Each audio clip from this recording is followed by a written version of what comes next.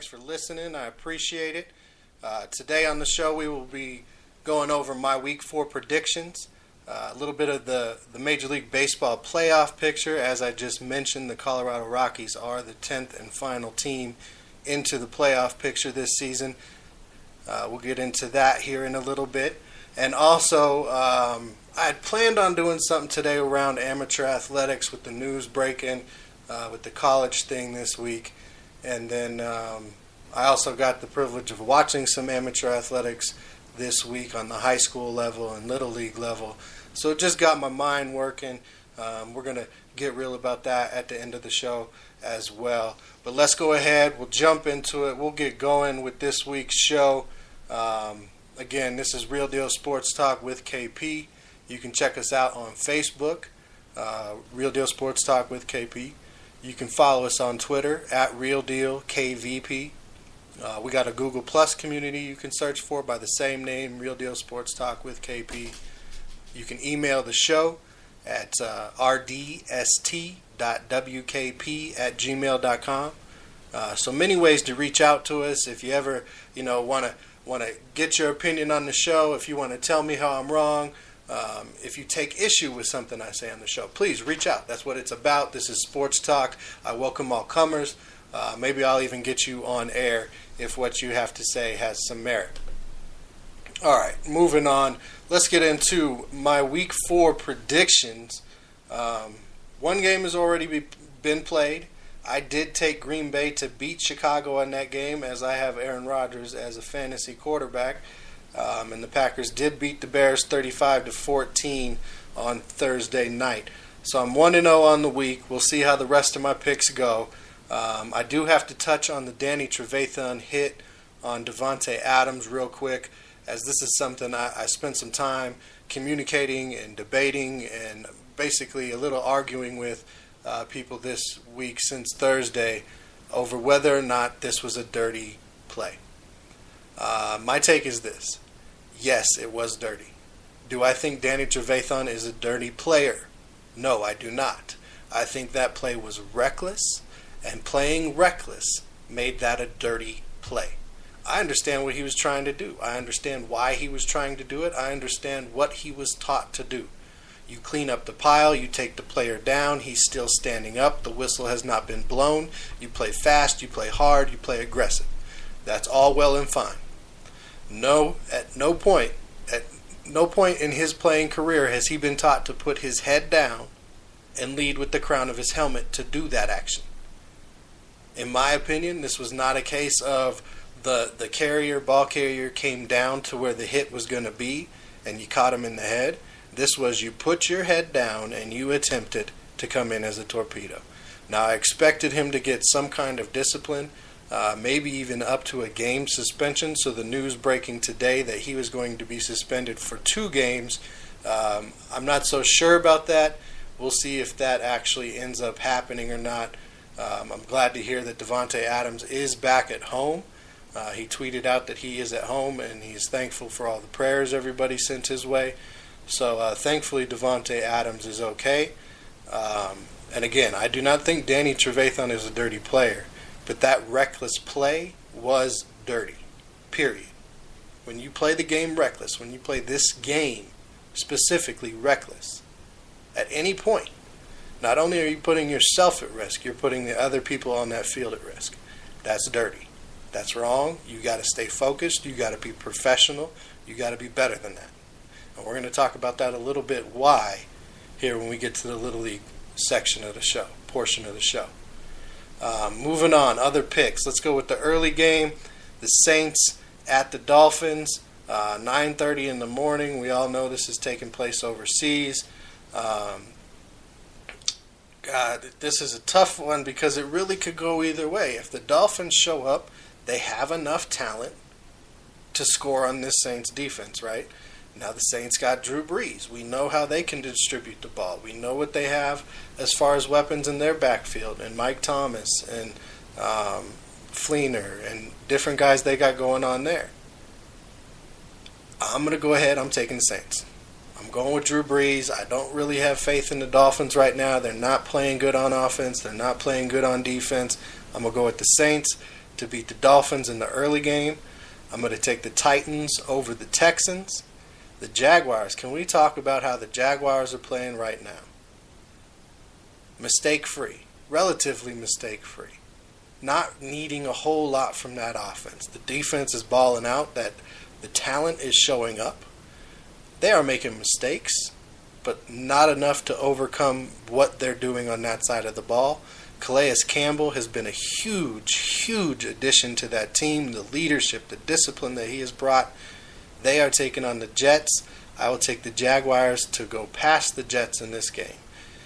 Panthers are taking on the Patriots. I will take the Patriots at home to beat the Panthers. Um, Cam Newton is showing himself to be exactly who I have said he is on this show. He is extremely athletic.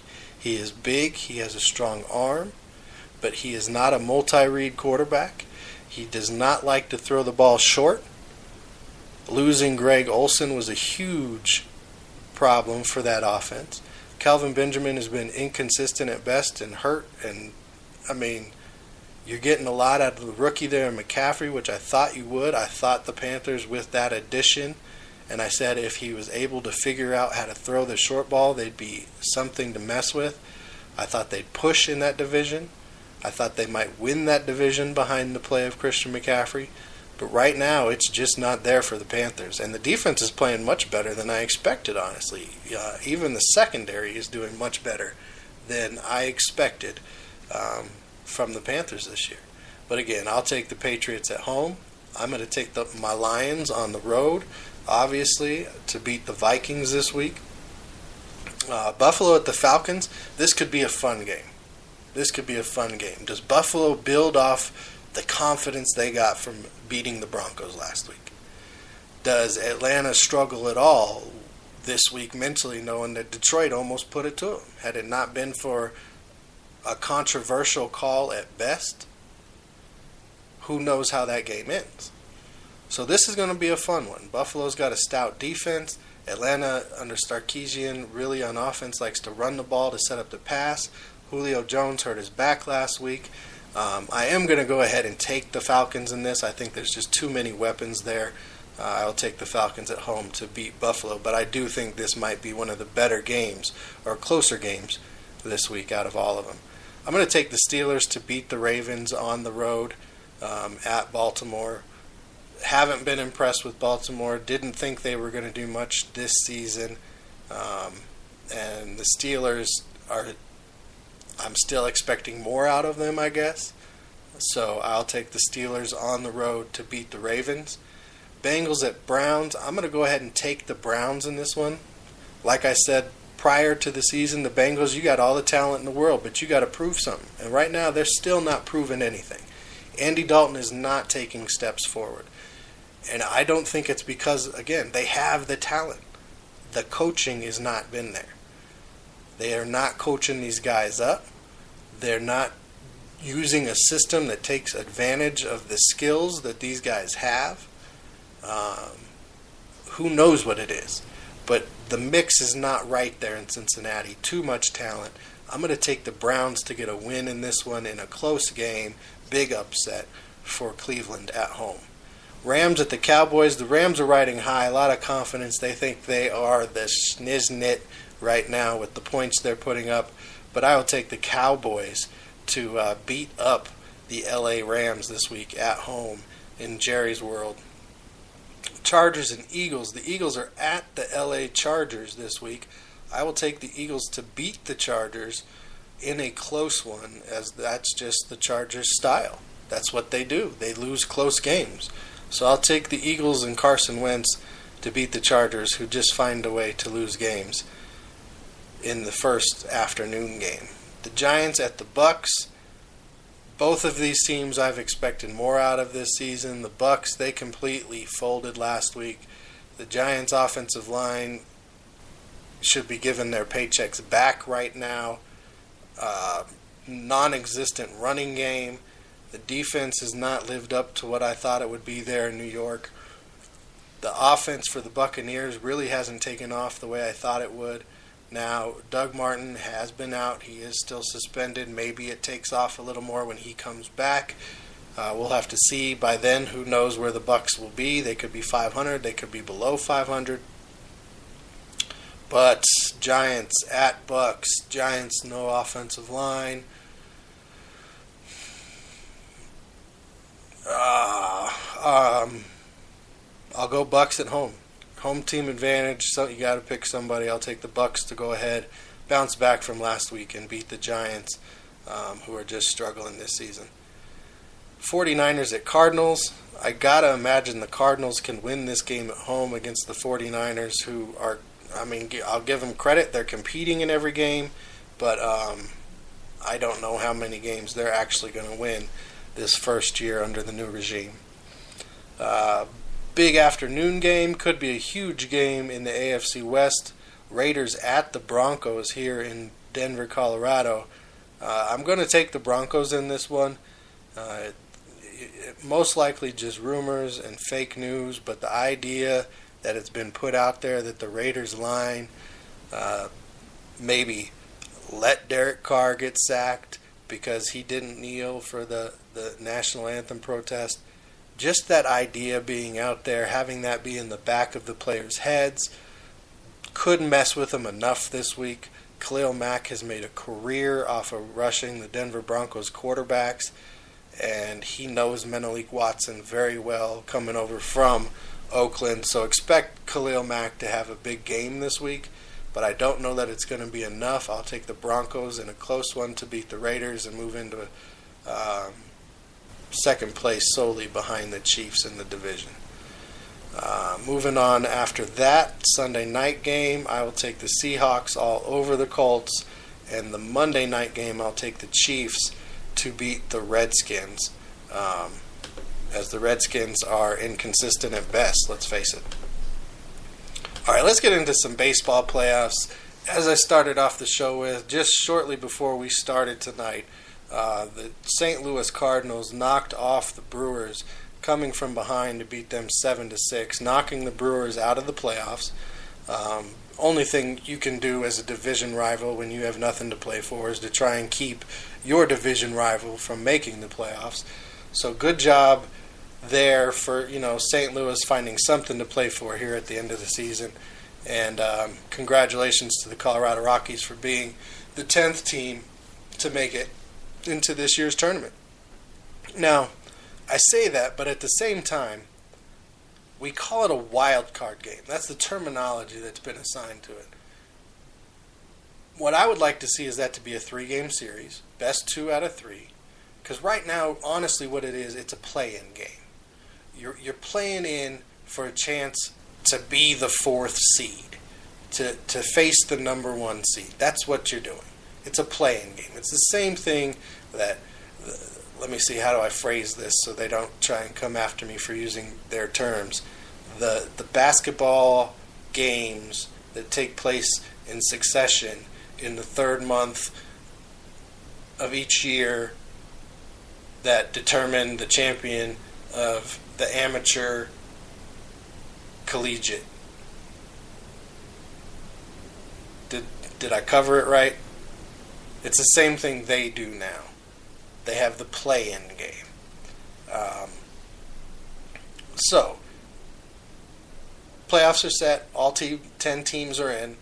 Um, there might be a little shifting on some position. I mean, Cleveland and Houston, uh, they're still looking like, um, let's see, they have a game each left, and Cleveland has a one game lead on Houston as far as the best record in the American League. So there could still be some positioning shuffling. But as far as it goes right now, the teams in this year's playoffs for baseball, you have the Red Sox, the Indians and the Astros on the American League side as the division winners. And then as your wild card, or your play-in game, you have the Yankees taking on the Twins. Um, again, who gets number one after the weekend's over, we'll see. Right now, it looks like Cleveland's going to go ahead and get that n- number one overall seed, which would pin Houston against Boston in the first round, and the winner of the play-in game facing Cleveland right now. On the National League side, you have the division winners of the Washington Nationals, Chicago Cubs, and the Los Angeles Dodgers, with your wild card play-in teams being also from the West, the Arizona Diamondbacks and the Colorado Rockies. So the Rockies are going to take on the Diamondbacks in that one-game wild card play-in. So they have the right to go on and face the LA Dodgers in the first round of the playoffs, while the Cubs will take on the Nationals. Now, currently, the Rockies are finishing up this season with a three-game set against the Dodgers. They beat them last night. They're taking on Kershaw tonight, and they have one more game, I believe, against them tomorrow um, before they will travel to Arizona for that play-in game. And that's the playoffs right now. Uh, I'm not going to make predictions this week.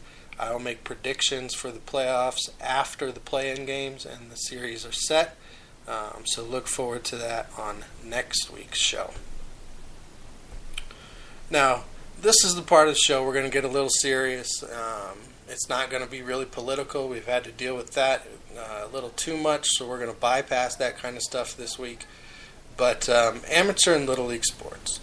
This is something that's played uh, a big role in my life. Uh, it's my playing career ended in amateur sports um, after I was in a bad car accident and wasn't able to uh, continue on the way I wanted to or with the ability that I needed to. Um, but this week, with the breaking news um, that the FBI had arrested uh, four college coaches, that they were investigating uh, other schools, that Rick Pitino was somehow involved, um, the University of Louisville, the the news dropping that they've uh, subpoenaed one of the youth basketball leagues that Nike runs. Um, it just got me thinking about amateur athletics and where amateur athletics have come, um, what they're supposed to mean, what they're about, what sports are supposed to provide and give to you, and almost what they've become. And it's hard for me because I, I grew up playing every sport I could. I played basketball, baseball, football, I played soccer at school. I was on a swim team. I, I was in sports year round. I was exposed to sports. My father grew up playing sports. My grandfather was a coach for many, many years. Um, sports is who I am. It's what I love. It's what I identify with. And the more these stories break, the more you hear of the corruption, um, it just makes you think. What's it all about? What what should the kids be getting? Um, should it be about winning? Is winning that important to us? I know it feels good to win, but that should not be the most important thing. It should not be about winning. Um, the list goes on and on and on of things that you can get out of sports uh, teamwork, respect, you learn hard work, loyalty, you learn trust, you get friendship, you build confidence and self esteem. You get, of course, the health benefit of exercise. You learn selflessness, how to give to somebody else. You learn to fail and to get back up, to not ever quit. You have fun, you learn discipline. You learn how to prioritize your life, be, find that balance between life, uh, um, education, and athletics. Uh, you learn how to set goals and achieve goals and work towards goals. You learn communication skills and problem solving. You learn honor, critical thinking, uh, strategy, sportsmanship, integrity. You get so much out of being part of a team, out of being and participating in youth sports and amateur athletics, and having that be part of your life. These are skills that cross over into other aspects of life. These are things that these kids need to be getting out of sports. It should not be the AA, in my opinion. Again, this is my opinion. This is my take on it. This is these are my thoughts about it. This is how I feel about growing up and having now 25 plus years around athletics. Me personally, covering it, watching it, participating in it. And what I see is winning. I see people focusing on winning. I see the pressure to be the best, to go pro, um, to become basically an asset in a capitalistic professional system, to be rich, to somehow better your whole family situation, and this is the only means to do that. And that's not what sports is. That's not what I fell in love with when I fell in love with athletics, when I fell in love with baseball and basketball and football. That's not what I got out get out of it. That's not what I was in it for. I never wanted my dream was never to be rich. I dreamed of winning the championships, of being on the team, of playing the game.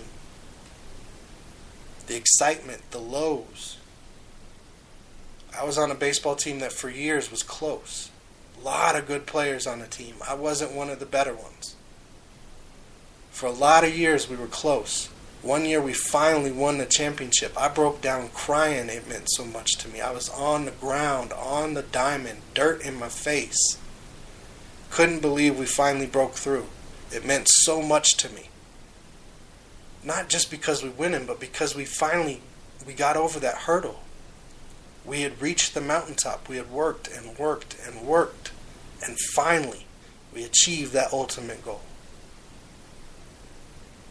And that's why it meant so much. Not just because we won, it wasn't superficial. It makes me wonder what happened to the purity of amateur athletics, of college, of, of high school, of football, of, I mean, of Little League. How did we let fall victim to, to AAUs, to traveling teams, to letting competition come before sportsmanship.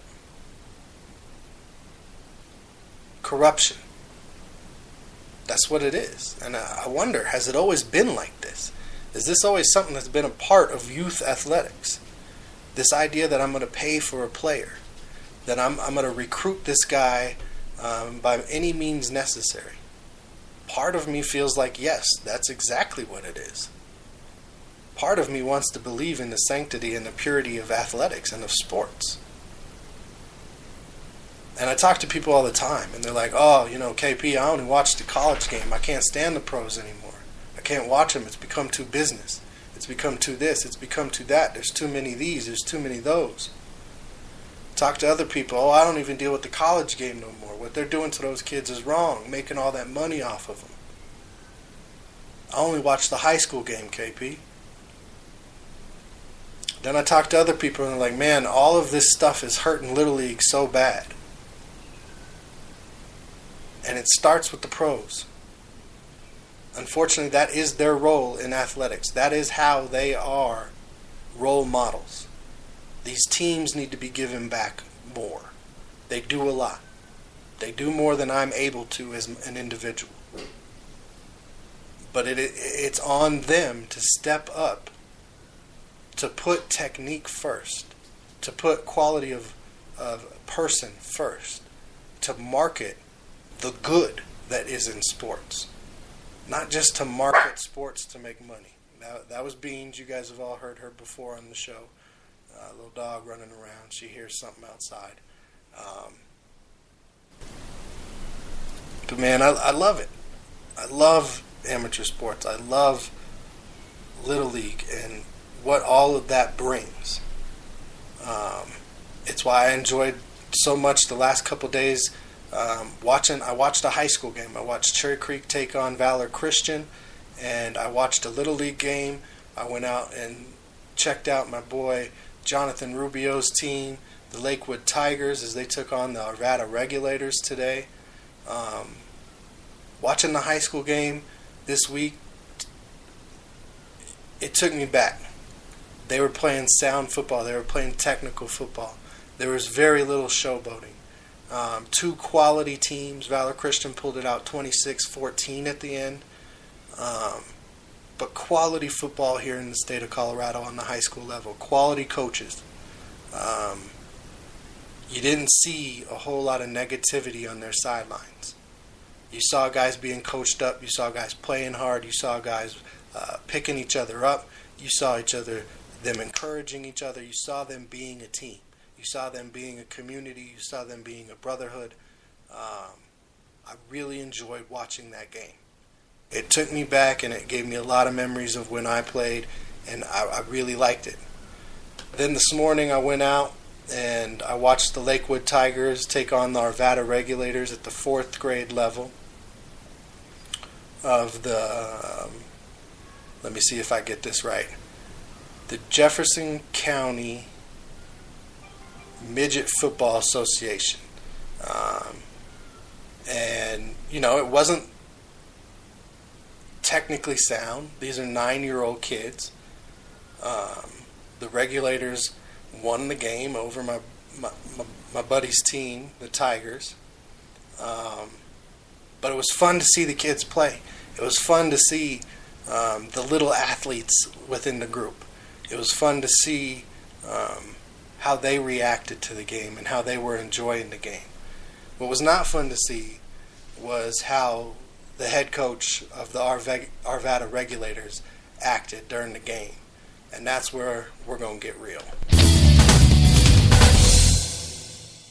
So I like to think that between my experience with the game, my father's experience, and my grandfather's experience with the game, which is almost 130 years combined of football experience between the three of us, that I have a strong enough background to speak with some with some conviction on what I'm about to say. Um, what I saw from the head coach of the fourth grade Arvada regulators today on the sideline was unacceptable, in my opinion, for a youth football coach. The way he was yelling at his players, uh, belittled them, made fun of them by mocking less intelligent people. Duh, duh, duh. Not cool. Not okay. Um, and I don't know what it was supposed to do. I don't know if he was trying to inspire them, get them to want to play harder. Um, but I would say, how about you coach them up? How about you give them a little coaching? That is your title, coach. You're not out there to make fun of kids or to publicly yell so loud that you're clearly not doing anything but pointing out what your players did wrong. Not to mention the times he chose to yell towards the other sideline and insult them. Way to go, coach. You showed your players how to be a great person today. You're teaching the kids exactly how to be a poor sport. You put winning in front of the well being of the kids you have been entrusted to lead. And to the parents who allow it to happen as if it is okay, or somehow this is just how it is in football, I'm embarrassed for you and I feel for your kids. There's, there's a big difference between being a hard nosed football coach and being an ass. Now, the JMFA has rules for this, and I hope they are applied. I hope he is dealt with, and he should not be working with kids or coaching a game I love the wrong way for what I feel are in the wrong reasons. Now, the JMFA, they have an honor and integrity program where the players, the coaches, the spectators are all graded. They're given points. If they don't meet a certain total, they are called into the league offices and dealt with. They can be suspended, they can forfeit games, uh, they can be removed from the team in the league. And I am so impressed that they this league has that in place. That shows me that the league is on top of the kids coming first. I love that. I love it. I love it. I love it. And again, I say this is kids. It's kids. I applaud the Lakewood Tigers coaches for not responding to the regulators coach in any way. Now, did the Tigers coach also show frustration? Sure, it's an athletic event. Coaches get frustrated. Did they get loud? Yes, they did. But the tone was completely different. The words being used were different, and the direction of the frustration was different. There was no embarrassment or belittling. There was coaching up. When the coach got upset, he walked away. He talked to himself. He did not yell to his players about how disappointed he was in them. Amateur athletics and Little League sports are one of the best things this country still has to offer. It has been sad to see how much they have been infected by the greed of adults looking to make money and or get rich off of their kids or other people's kids. I value all of the aspects of what sports gave me, taught me, and offer to all those who are in them for the right reasons and who truly love the games they play.